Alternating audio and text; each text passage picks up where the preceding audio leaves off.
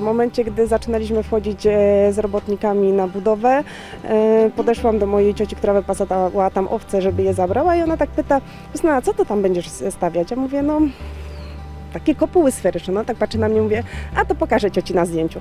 Pokazałam jej zdjęcie, ona mówi, e, to takie klapniuki. No i tak zostaje klapniuki.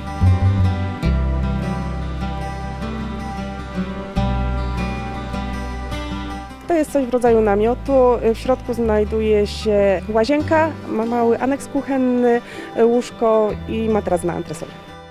W każdym z namiotów jest inny wystrój, ponieważ chcieliśmy, żeby każdy się różnił od siebie. Nie każdy lubi styl bardzo taki wiejski, nie każdy lubi styl glamour, tak żeby każdy miał coś dla siebie.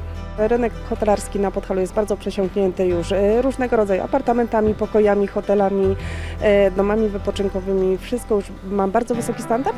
My chcieliśmy zrobić coś innego, dlatego kopuły sferyczne.